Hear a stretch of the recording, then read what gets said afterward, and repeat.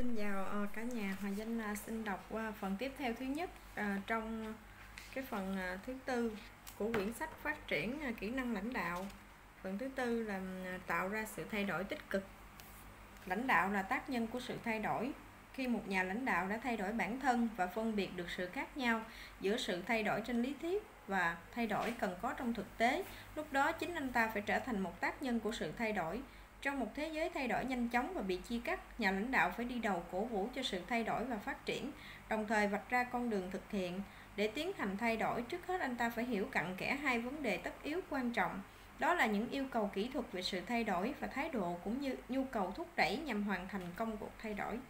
Cả hai điều kiện trên đều rất cần thiết, tuy nhiên thông thường nếu sự thay đổi thất bại thì nguyên nhân là do động cơ thúc đẩy không phù hợp, chứ không phải do thiếu chuyên môn kỹ thuật một nhà quản lý thường có nhiều kỹ năng đáp ứng được yêu cầu kỹ thuật của sự thay đổi, trong khi đó nhà lãnh đạo có khả năng nhận biết tốt hơn thái độ và các động cơ thúc đẩy mà những người đi theo cần phải có.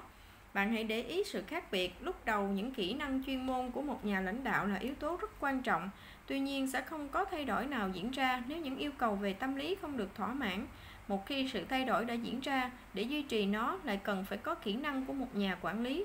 Trong cuốn Increasing Your Leadership Confidence, tạm dịch tự tin vào năng lực lãnh đạo của bạn, tác giả Bob Bell đã khẳng định một sự thay đổi có thể diễn ra logic nhưng vẫn gây ra tâm lý căng thẳng.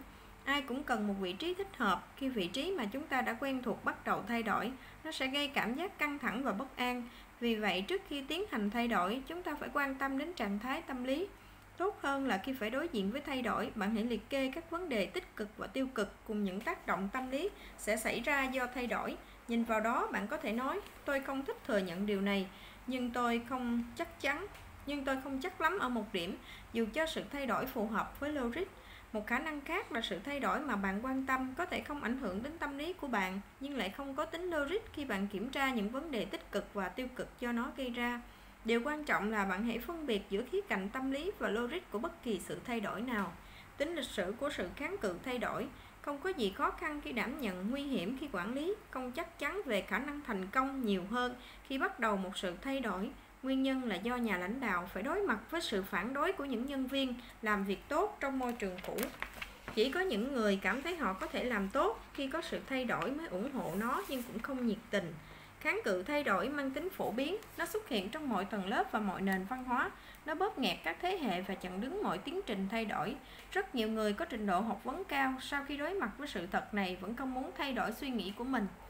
Có thể lấy ví dụ là trải qua nhiều thế kỷ, người ta luôn tin rằng Aristotle đã đúng khi nói vật nặng hơn sẽ rơi xuống đất nhanh hơn. Aristotle đã được coi như một nhà tư tưởng vĩ đại nhất mọi thời đại. Nên chắc chắn không thể ông không thể sai. Thực tế chúng ta có thể dễ dàng kiểm tra lời ông nói bằng cách cho một người cầm hai vật, một vật nặng và một nhẹ thả từ trên cao xuống và quan sát xem liệu vật nặng hơn có tiếp đất sớm hơn không. Tuy nhiên không có ai đứng ra phản đối nhận định này của Aristotle. Mãi cho đến năm 1589, tức là gần 2.000 năm sau khi Aristotle qua đời, nhà bác học Galilei đã mời những giáo sư uyên bác đến chân tháp nghiêng Pisa xem ông trèo lên đỉnh tháp và thả hai vật xuống, một vật nặng 10 kg và vật kia chỉ nặng 1 kg, cả hai tiếp đất cùng lúc. Nhưng do quá tin vào lý thuyết của Aristotle nên các giáo sư đều phủ nhận những gì đã nhìn thấy. Họ tiếp tục khẳng định rằng Aristotle đã đúng. Với chiếc kính viễn vọng, Galilei đã chứng minh lý thuyết của Copernicus rằng trái đất không phải là trung tâm của vũ trụ, trái đất và các hành tinh khác cùng quay xung quanh mặt trời. Tuy nhiên, khi ông cố gắng thay đổi niềm tin của mọi người, ông đã bị đẩy vào nhà tù và quản thúc tại gia trong suốt quãng đời còn lại. Kháng cự sự thay đổi có thể ảnh hưởng đến sức khỏe và cuộc sống con người một cách vô thức như câu chuyện dưới đây. Vào thời cổ đại, bệnh scorbut, bệnh thiếu vitamin C, từng là đại dịch khủng khiếp tàn phá các đội quân trên chiến trường và cả người dân ở các đô thị suốt một thời gian dài. Sau khi khám phá ra châu Mỹ, các cuộc hành trình dài ngày trên biển trở nên phổ biến, thì căn bệnh đó lại hành hạ các thủy thủ. Mọi người không biết nguyên nhân gây ra căn bệnh và cách chữa trị thế nào. Mặc dù có nhiều giả thuyết và phương pháp điều trị đã được đưa ra, nhưng tất cả đều hoàn toàn không có hiệu quả. Năm 1553, Cartier thực hiện chuyến đi biển lần thứ hai đến Newfoundland. Trong 103 thủy thủ của ông, ông có tới 100 người phải vật lộn với dịch bệnh scorbut trong tuyệt vọng và đau đớn. Rất may là những thổ dân da đỏ Iroquois Indians ở Quebec đã kịp thời cứu chữa cho họ bằng một thần dược. Họ đã cho những thủy thủ uống nước chiết xuất từ vỏ cây và lá cây thông, cũng trong năm 1553, Đô đốc Ricker Hoskins Hawkins đã ghi chép rằng trong suốt thời gian ông làm việc ngoài biển khơi, đã có hàng chục nghìn thủy thủ do ông quản lý bị chết bởi nạn dịch. Theo kinh nghiệm của ông, uống nước cam và chanh sẽ giúp điều trị hiệu quả căn bệnh. Song những chỉ dẫn này không khiến mọi người thay đổi nhận thức về phương pháp phòng chống căn bệnh và chúng nhanh chóng bị lãng quên. Sam Lai, bác, bác sĩ phẫu thuật thuộc Hải quân Anh, người sau này trở thành giám đốc bệnh viện Hải quân tại Portsmouth, Anh, đã xuất bản một cuốn sách vào năm 1753 trong đó, ông khẳng định bệnh scorbut có thể được loại trừ bằng phương pháp đơn giản là uống nước chanh. Ông đã trích dẫn rất nhiều trường hợp được chữa khỏi trong thời gian ông làm bác sĩ phẫu thuật trong hải quân.